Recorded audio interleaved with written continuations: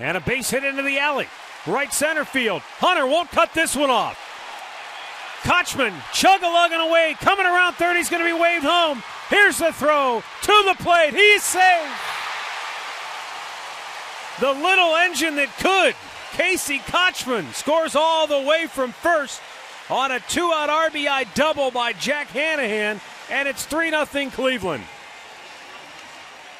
I'll tell you what, they're putting some good swings together. Hannahan plugs the gap in right center field. And with two outs, you have to go ahead and try to send him. No question about it.